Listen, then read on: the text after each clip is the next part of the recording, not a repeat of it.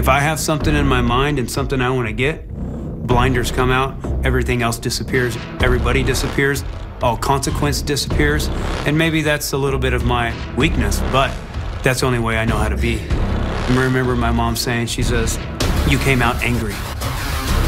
I came out angry.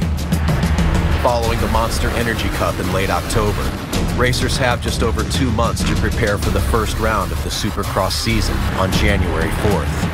Anaheim, buddy, why are we here? In the 250 class, there is an East and West Coast Championship consisting of nine rounds each. In the Premier 450 class, there will be 17 rounds crisscrossing the United States, with only one weekend off from the months of January to early May. It's a sport, but it's also a lifestyle. There's no real end to the season. There's no real end to training. There's no real end to the risk of injury. It's endless.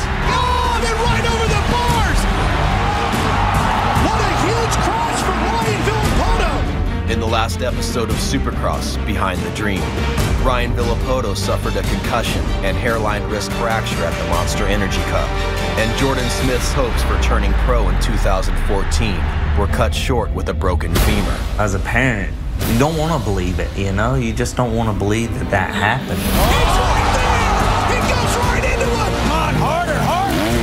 this episode, Dean Wilson begins his final campaign to win a 250 class championship.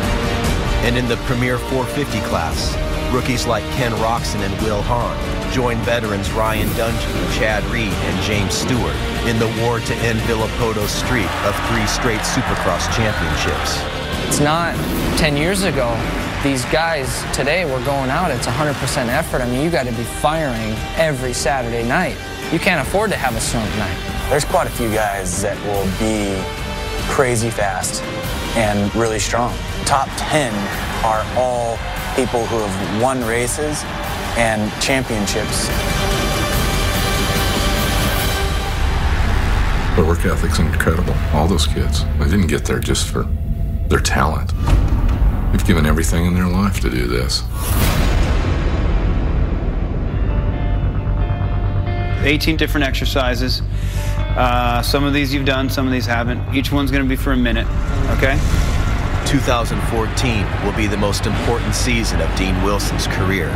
After failing to win a 250 Supercross championship the last four years, Wilson has one more year to win a title and prove he is worthy of a factory racing contract in the 450 class. Come on, that number one plate's way worth all this pain.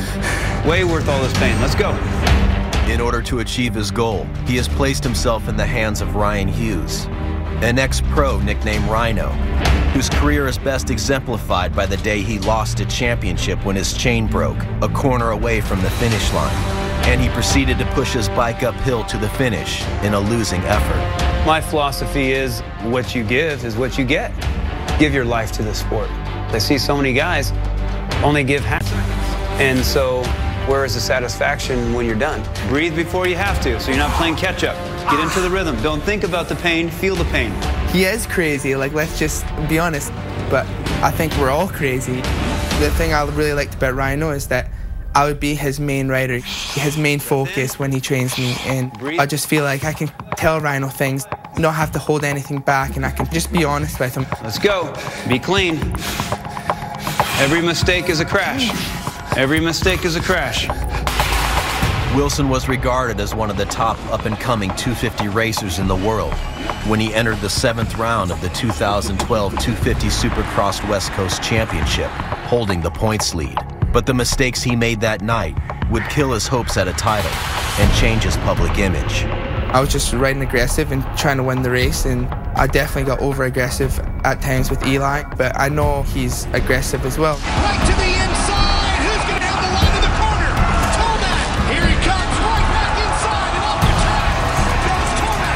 I wasn't really trying to ride to take somebody out. I did make aggressive passes, but I didn't ride like I was going to kill somebody. Sometimes I just get sick of getting pushed around, and I was one of those guys during even my amateur years that I was a little more of the nice guy. Down goes Wilson. Face first into the dirt. And he gets up holding his shoulder. The championship points lead has changed. I felt like I lost a lot of fans from it. They just tweeted stuff like, you deserve that, and I hope next time he breaks your legs, and pretty cruel, mean things like that. But I did end up with two bad years and a bad shoulder. Although Dean was unsuccessful in clinching a championship, a privateer team under the supervision of former Supercross champion Jeff Ward offered Dean support to race in the 450 class. But two months before the 2013 season opener, educates you. You can't believe what everybody says. There were rumours that the team wasn't doing well. And me personally, I went to the manager, man to man, you might say, and they told me, no, Andy, we have the money aside for Dean, and Dean is good. We would never think about signing him and not having the money. And kapoof. At that time in Dean's career was such a terrible thing to do. He just won a championship. He got that ride, so everything else was shut down for him to go elsewhere.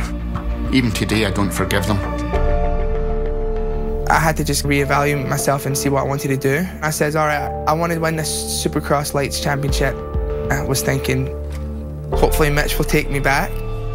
After I have a relationship with somebody, I believe in him. We would like to see Dean win a Supercross championship. He supplied us an outdoor championship. He can win again, and he will win again. Mitch Payton, founding owner of Pro Circuit, the most successful team in 250 Supercross, re signed Wilson for 2013. And Wilson repaid him by winning the opening round of the East Coast Championship Series in Dallas. But Dean was unable to complete the season after a crash in Indianapolis, which left him with a collapsed lung, broken rib, broken shoulder, and broken back. But when you have life kick you in the butt a few times, well, if you're intelligent, you look back in the mirror and go, okay, what do I need to change? Come on, get in your game. Not start pointing fingers about, oh, it's the bike, it's the team, it's that rider, it's my luck. So I think this has all happened for a good reason. We just have to be patient and let it happen. Come on, gotta want it. If I'm not running up front with the top guys and winning races and doing what I want to do, probably what everybody expects me to do, that's a big question mark for me. I really don't even know where I would be because I'm such a gamble. Their goal is to be on a 450. And the only way you're going to be a future 450 rider is be successful in Supercross. He has to win.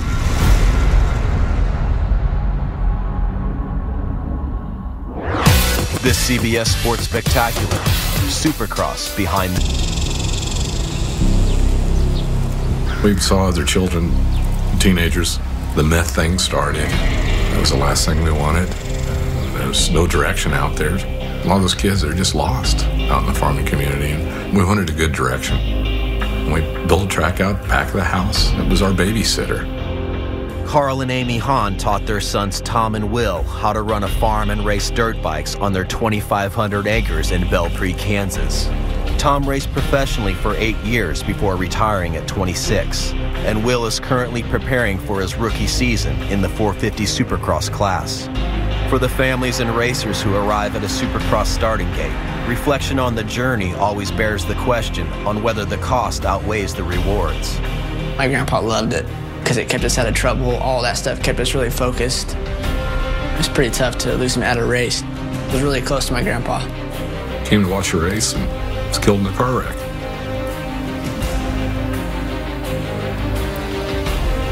He loved everything about it.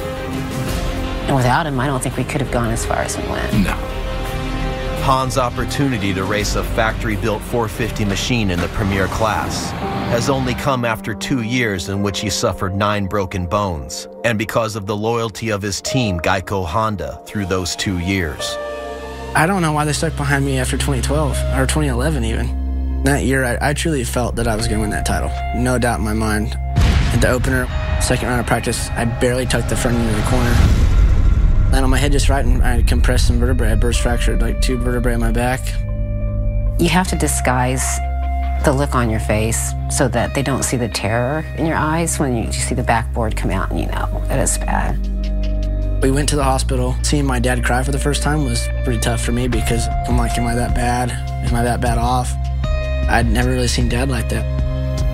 It just rips you apart. See your son in that kind of state. 2011 would prove to be the most physically painful year of Will's life. Before the year was over, he would break his shoulder blade, collarbone, and several more vertebrae in his back. To start all over again. One more mountain to climb, and then maybe. And then the odds every time are less and less that you're going to be able to achieve it. It was something that was really low for me, and I'd spent like two months on my dirt bike out of that whole year. When you start something at three years old and you've done it your whole life, something that you love more than anything. No different than if you lost a family member.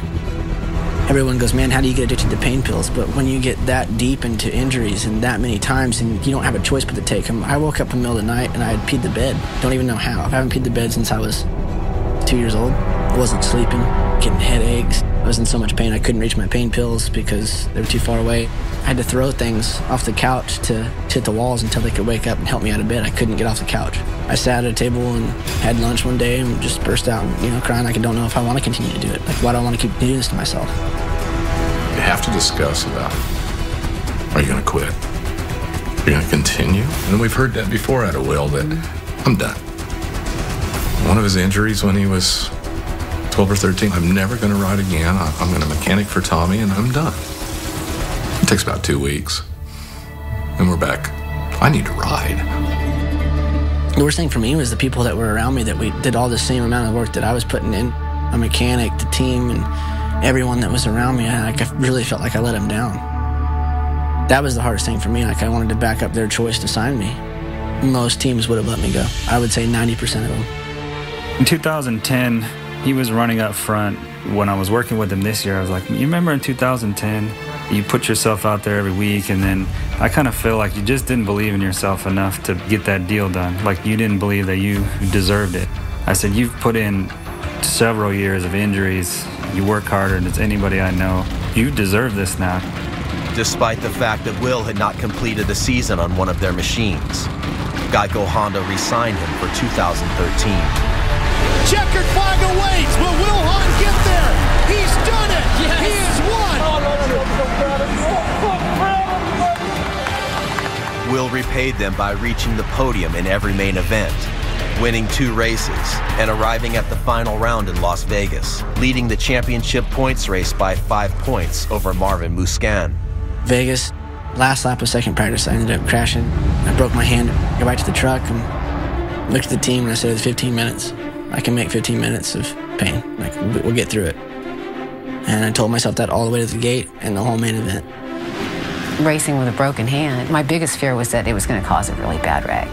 So you got to block that out. Otherwise, you'll just go crazy. Will Hahn is out there making it happen right now. He's in some pain, but this is his shot at winning his first Monster Energy Supercross 250 title. My wife did not see the last three laps of the Vegas race. You don't think about looking at your wife, but I did look over, and I thought she was throwing up. I didn't know what she was doing. She had her head between her legs. I was praying. Coming to the championship. Yes! It's my greatest achievement in my lifetime.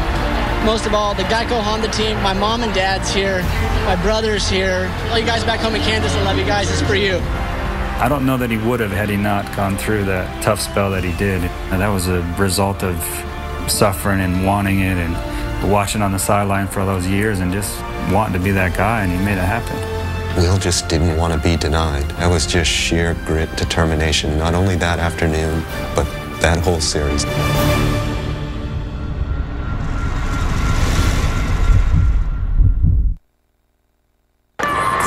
Angel Stadium in Anaheim hosts America's pastime.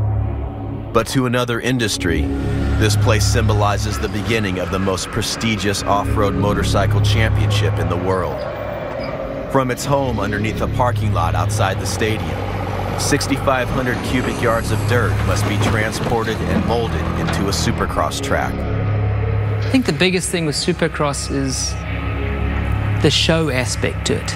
Anyone that races a motorcycle, that's their ultimate dream. In Europe, they don't have it over there. They don't have that size of a stadium. It can be filmed live, televised, and I think that's what draws them in from Europe and from all over. The 2014 season opener will be the start of Ken Roczen's rookie season in the premier class, and the culmination of a dream that began when he started watching Supercross on DVDs in Germany at the age of three. Roczen is hoping to be the first German Supercross champion in history. But everything also starts in the morning. Just get the ball rolling good. Everybody in Europe dreams to come over here ride Supercross because such an event here with the fans, and I experienced it as a kid and right there, and then I knew I got to be there. It definitely is a big risk coming here. The fields are deep here. There's a lot of good riders. In Europe, he was going to have a really, really successful career and win many world championships. Just being at home and in your home environment helps you achieve those goals. I mean, you have to uproot and move to America, move to a new country. But that's also Ken's competitiveness. And he really, truly believes he can win here and be dominant and be like a Carmichael or Villopoto where they are at the top of the sport. That's the thing with him. If he's happy, He's happy, yeah. then you're He's good. good, yeah. When he's grumpy, and Oh, yeah. You then can it's- forget about it. Roczen has had the advantage of preparing with Ryan Villopoto and his trainer Aldon Baker for the past two months. But that advantage came with the price of ending his training relationship with his father. Coming into Anaheim, Ken hadn't spoken with his dad in three months. The whole time I was just hoping that he was going to come. The doorbell rang and he was standing there together with my mechanic Kelly. You could see like the, the weight was lifted off his shoulders a little bit, just knowing his dad was back, and this is going to be a good weekend. Ken's not going to mess this one up.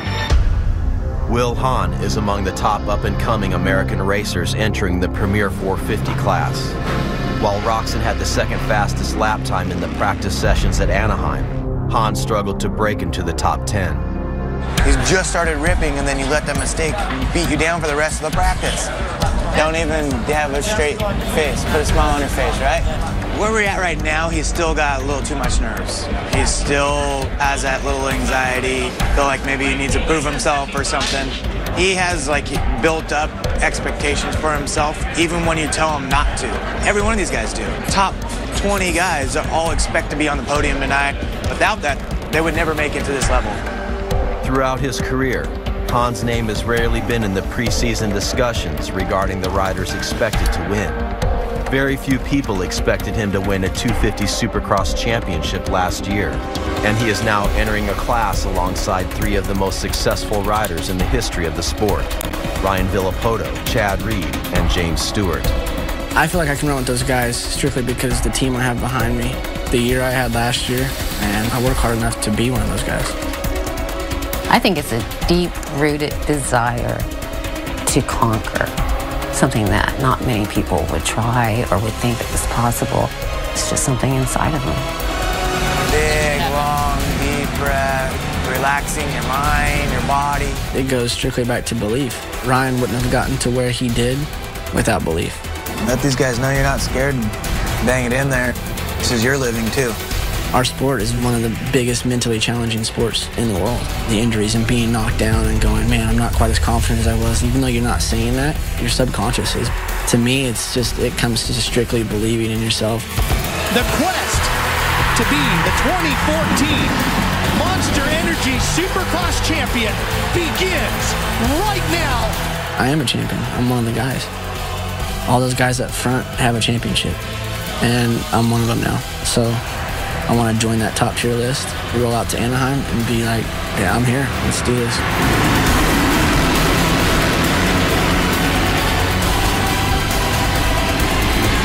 Villopoto will get the whole shot. Ken Roczen right there in second. Oh, and it's Josh Grant. Where the hell is he at? Right there? Yeah, about 15th or so. Ah, bro, come on. Will. Got landed on by Weimer. Will started the race in 14th and was losing ground to the leaders by running a lap time two seconds off their pace. Just got past again. Will's just going backwards. Come on, dude. Defending Supercross champion Ryan Villopoto seemed in control out front, but Roczen was matching his speed right behind him. Oh, guess who's down? Villopoto, just like a year ago in the heat race earlier tonight. Stewart gets by, Villopoto drops to fifth. Roczen, he's got the lead. The three riders that are directly behind him all have won this championship before. But he's just going to have to not worry about anything that's going on behind him. Because the way that Stewart's closing up on Dungey, the crowd's going to get into this thing real quick. Stewart, he's got Dungey to the crowd's approval. After going by Dungey, James Stewart would pass Chad Reed the following lap. He then began to chip away at Roczen's three-second lead. Stewart is coming after it. And you're looking at a rookie versus a two-time champion with 45 wins under his belt. Here comes James again.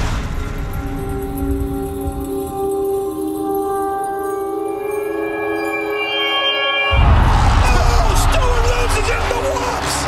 And just like that, the two-time champ is on the ground. And Roczen squirts away. Ken Roczen. Here he comes. The rookie wins Anaheim. I literally can't believe it. I definitely dedicate this race to my dad. Love him to death. He just came on Thursday. I didn't know about it. It was a surreal feeling for me. I've been doing this 14 years now. Never won a, a premier class 450 Supercross. To beat the guys like Villopoto and Reed and Stewart, Dungey, like, oh man, you don't even know. One of the best moments of racing I've ever experienced. Unbelievable. Will Hahn would only advance three positions to 11th throughout the race. The finish will leave him searching for the elements necessary to compete for another championship. He's bound and determined he's going to have a championship on the 452. Right now, I feel like it may happen. I don't know how long it'll take him, but I don't have any reason to doubt it. If there was a boxing match right now, he'd be ready. He ain't going into the ring cold, I'll tell you that.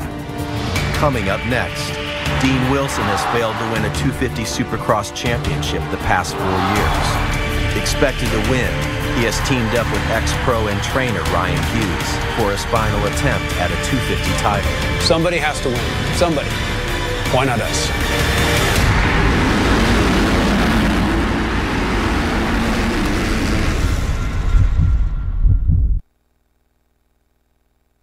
Tell you that. Dean Wilson suffered a crash three days before beginning his final attempt to win a 250 Supercross championship at Anaheim. He was heavily favored to win this title for the past two years, and future opportunities for himself and his trainer, Ryan Hughes, will depend on whether or not he lives up to the industry's expectations. Make this good, bud. Smooth, smooth lap.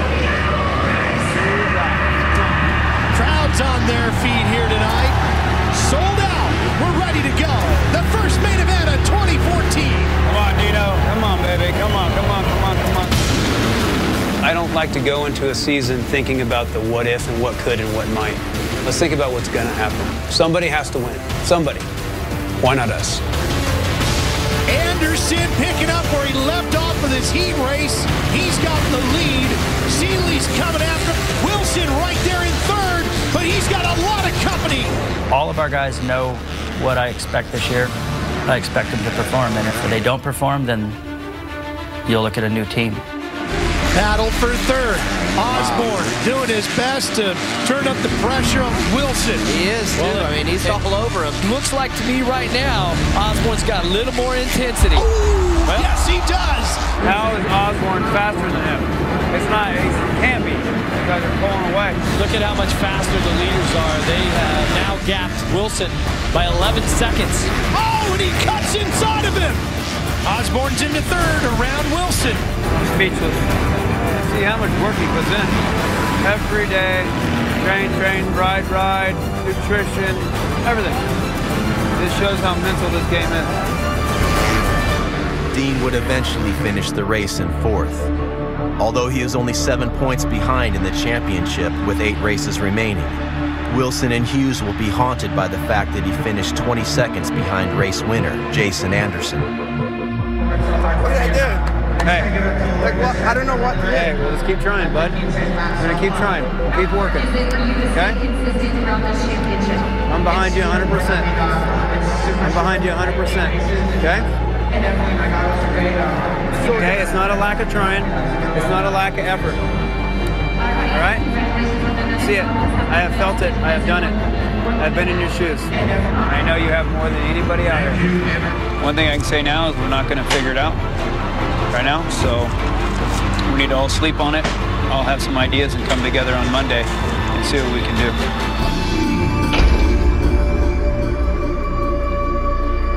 Okay. You guys ready for some humor? you guys ready for some comedy? Yeah. Ready for some I'm putting comedy? the comedy channel on. This is so depressing. At Ryan Hughes' home the day after Anaheim, Dean and Rhino met to analyze his performance at round one. They have just one week to make the necessary adjustments before round two in Phoenix. Ah! Dude, you're gonna let him do that to you? No, I, watch, I don't know if they'll show up. But Yeah, but then he then he stuffs you again. yeah. Twice. You let him do that twice to you, dude. Oh! Look at me. Right here, I was, I was just, I was seeing red. And that's it? That's red for you? Well, he checked up. Dude, cut him in half. Cut him in half. Look at how much faster the leaders are. They have now gapped Wilson by 11 seconds. Everybody has put so much pressure on you about you're expected to win.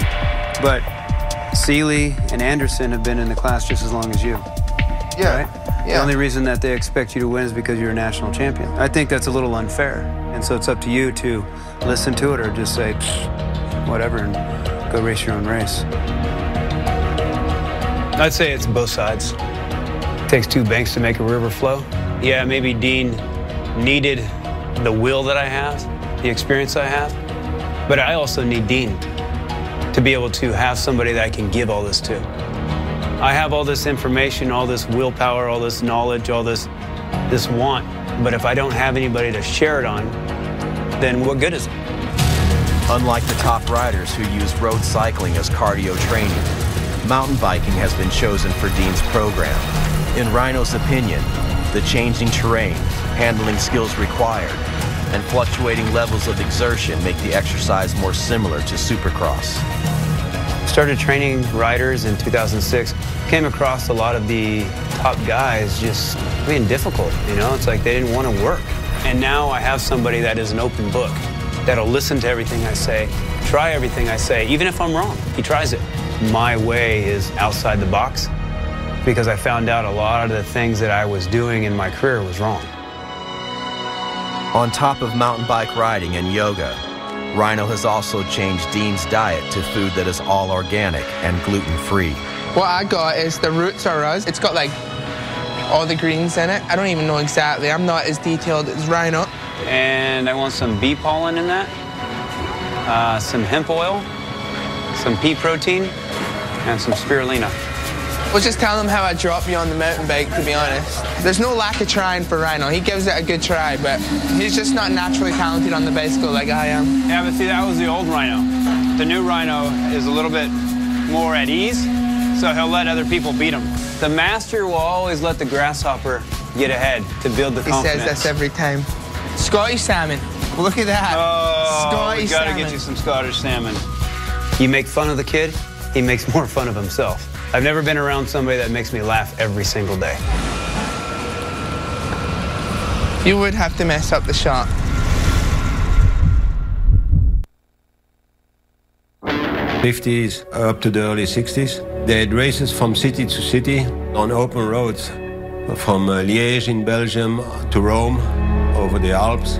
They would have checkpoints along the road where the rider needed to get a, a card stamped off. The pub next to where we lived was a place where the motorcycle club met, and when there was a race like that, they would have the checkpoint there. When I was about 10 years old, I remember being on my window upstairs from my bedroom, watching the bikes come through all night, you know, and that was the first thing that uh, caught my attention to bikes. Up until 2012, Team KTM had not won a single Premier Class Supercross race. But after hiring team manager Roger DeCoster in 2011, they have won six 450 Supercross races and a 250 Supercross championship. At round one of the 2014 season, a KTM rider won the 250 main event, and KTM riders finished first and second in the Premier Class main event. It was the most dominant night in KTM Supercross history. One of the greatest riders in the history of this sport, Roger DeCoster. His nickname is the Man. Is their team manager. Roger's so successful in racing and as a manager. He doesn't set himself above anyone. He feels like he's as much involved in the team as anyone else, and he puts in so many hours. He does his emails and computer work, and then the whole afternoon he's in the machine shop helping the mechanics work on parts or developing something new for the bike. He's there early in the morning, he's there late at night. He's totally, totally committed to racing and, and to the team. Although many Supercross legends have become team managers after retirement, DeCoster is the only person in the sport who was a multi-time champion as a rider and is now a multi-time champion as a team manager. It may have something to do with the fact that he spends most of his time trying to shave ounces of weight off his machines or improving the efficiency of the many moving parts. When you've been on the top of your sport, everybody treats you like you're a royalty. It's easy to start believing that you have proven what you can do. Now you can take it easy and come in a little bit here and there and give a few words of advice and you're going to be a great manager. And it doesn't work that way. You need to put in the time. It's competitive. You have to do as much or more than the guy that you're competing against. KTM's hope for a first 450 Supercross championship in 2014 rests on premier class rookie Ken Roczen and former champion Ryan Dungey. Dungey has not won a title since he was with Suzuki in 2010.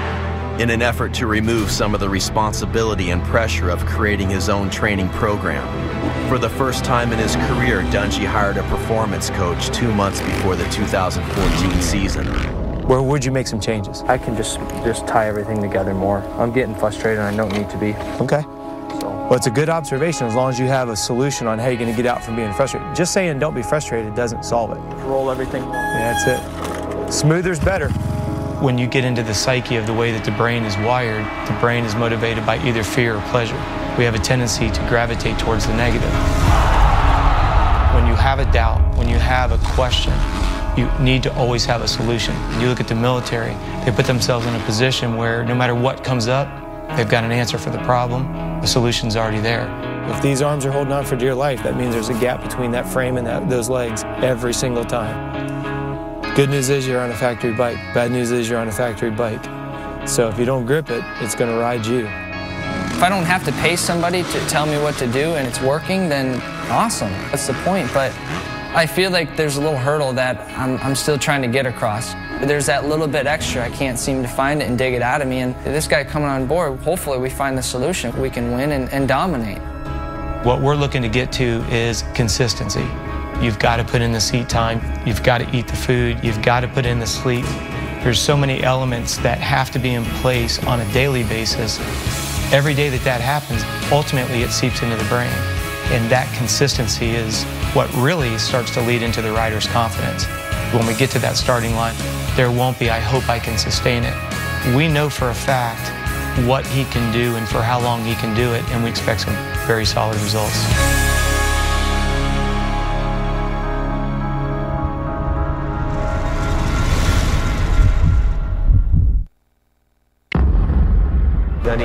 Brings out. I try to push him to ride closer to his ability, having another good rider on the same bike. I think it's going to help actually Ryan to push himself. Going into the second round of the Monster Energy Supercross Championship in Phoenix, KTM team manager Roger DeCoster's riders, Ken Roczen and Ryan Dungey, are sitting first and second in the championship respectively. Dungey is a former champion, and although Roczen is a rookie, he seems to have all the markings of a contender after winning the opening round. Ken Roczen, the rookie, wins Anaheim! It is now DeCoster's job to advise both of his riders on their machine setup and line choices as they aim to defeat each other. After the finish, with that left turn and that jump, Yeah. I know I messed up there. we can go commit a little bit more. Ryan worries more, a lot more than Ken. Ryan is always looking for everything to be perfect. And it's never going to be perfect everywhere, but he always searches for that. And, you know, that's Ryan. That's, that's the way he is. Ken is a guy that doesn't like to change much. The 450s is a tough class. There's so much more inertia, there's so much more force, there's twice the power going to the rear wheel than the 250. It's like the whole package. You better know what to say to the guys on the team to get better with the bike setup. And then the mental side, just to shut it out of your head if it's not working.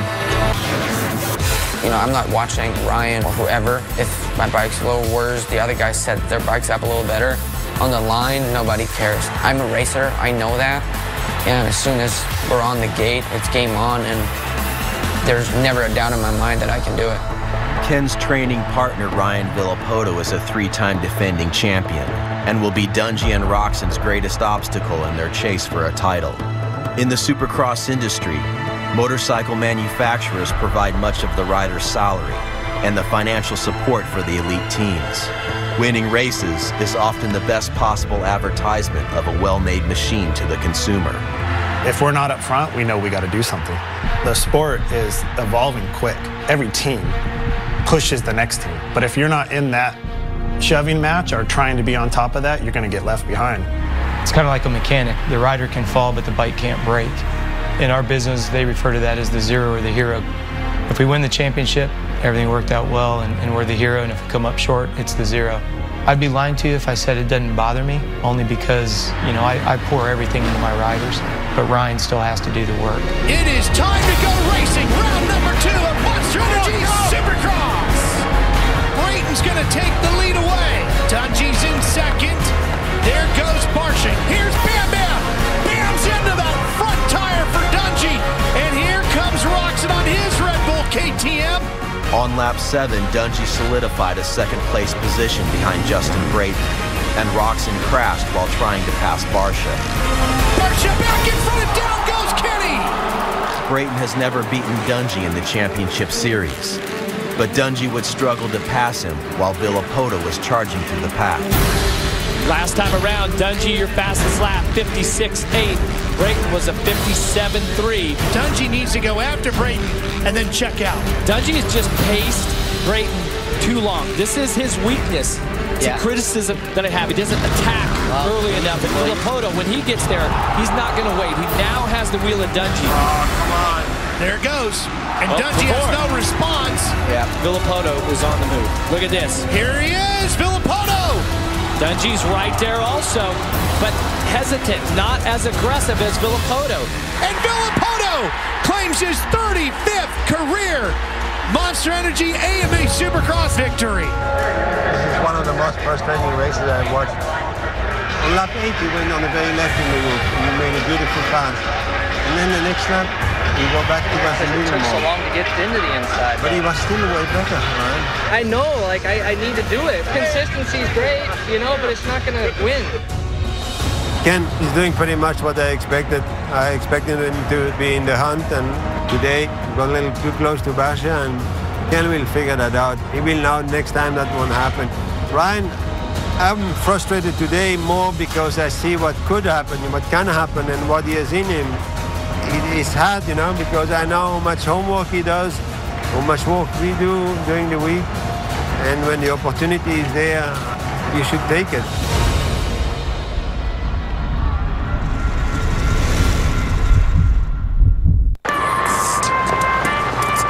It took Will Hahn five years to win a 250 Supercross championship and reach the Premier 450 class. In his first two races on a 450, he finished 11th and 10th. His future in the sport will depend on whether or not he can learn to go faster on the larger 450 machine. I want to see some intensity. I want to see coming in hot, changing up lines, squaring it up, coming back down. I don't care about lap times as much as I want to see some like good raw intensity in the corners. A brake slide, diving super low as you're going to pass in one. Don't be scared to fail. Within the last five years, there's been a few lights championship riders that go to 450s and really struggle. It's going to take a lot of work, and I don't think he thinks it's going to be easy, but that's not something that he shies away from. Everyone has a purpose in life, and my purpose is racing dirt bikes. My parents, at a young age, started me at that, and that's what I want to do. I'll continue to do it no matter how hard I get beat down. It's something that I really, truly love. Ryan Dungey has started out his 2014 season with second and third place finishes. But his team manager Roger DeCoster believes Ryan should have won in Phoenix and was openly critical of his performance. I know when he's going to stop giving it to people. Phoenix was a race that early on in the race, I would like to make that pass happen quicker on Brayton and could have led us to a win. People ask me a lot about what Roger says and things. And yeah, with the mic on, I'm sure you guys heard a lot of stuff, you know, and I don't want him to blow smoke. And if he tells you something's better than it really is, you know, he's kind of lying to you and kind of keeping from you what he thinks. And he knows what I'm capable of. It's nice, thirds and second, that, that's awesome. They're great finishes, you know, but uh, you don't settle for that. Following his fourth place finish at Anaheim, Dean Wilson would have another disappointing fourth place finish at round two in Phoenix. Before he started working with Ryan Hughes this year, Dean had never employed a trainer. Throughout his amateur career and first few seasons as a pro, he relied on his father Andy for support and criticism at the racetrack. You just got to step back. It is very difficult. You feel butthurt at first because you feel oh, I've put this much into my son for 10 years, 8 years, now I just got to stand back and then you have to recreate yourself because you're used to working with your boy 24 7. But the love for the sport is great. I still love the sport and I ride. There, when you go into the whoops, try to focus on getting that chest up because then it's not on your arms. Because right when you hunch, look at where my weight goes to my arms, and now I'm always pushing back. Now, when you see him training with Ryan Hughes and how dedicated both of them are to get the maximum out of their time and how they work at the gym and go at the track and they have such a structure. They're way, way above any dad's head. Right in the clutch back today. Yeah, that time he put his mind on Justin, not on yeah, going yeah, fast. Exactly. You know, but what do you think is going to happen at the race? Unfortunately, he's going to have all the pressure on him because he's expected to win. You can be a dad, and it's a better relationship because you're not at the track every day saying you should do this or adjusting this and it's much, much better to come home and you can say, well, how was your day? And he'll say, never rode so good, made a few mistakes. Good conversation. Dean's had a bad couple of years. Now he's better bettering himself to be stronger, safer, more confident. I can see the focus. So now all you can say, what happens, happens. On March 2nd, in the next episode of Supercross Behind the Dream, we will take a look into the lives of Dean's rivals, Jason Anderson and Cole Seely. Both veterans in the 250 class have seen limited success in the past, but have not been able to contend for a title. Growing up, I was always, I guess you could say, obsessive about things that I do, like skating or BMX, but I never took anything as serious as I did riding. When I turned 17, I actually quit, just over losing, putting time in, and not getting anything out. My mom actually hated when I wasn't racing. She wanted to see me be successful. Here comes Anderson. Oh. He's right there. He goes right into it. From age six, I wanted to be a champion. I wish I could have been more focused and done the work that I'm doing right now, but I knew it was coming. In order to have absolute freedom to choose personnel and equipment, former Premier 450 class champion Chad Reed has built his own race team. But after several injuries last year, many believe the 31-year-old's time has passed. It's either I'm just not good enough or I'm washed up. I don't know if I'm delusional, but I honestly believe I can still fight for race wins and championship.